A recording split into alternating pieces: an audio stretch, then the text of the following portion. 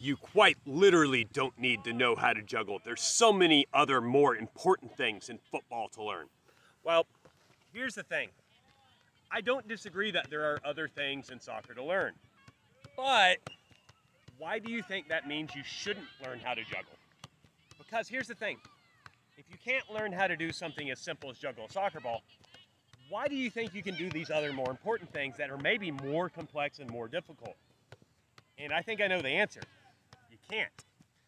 But you want to make an excuse as to why you don't know how to juggle. So on the internet, where nobody can check, you're going to claim that you're focused on more important things. You're focused on learning the tactics. You're focused on passing and receiving on the ground, finishing. But here's the thing. I don't think you can control a ball out of the air if somebody kicks it to you. I think if somebody passes you the ball in the air, it's going to bounce off you and go out of bounds.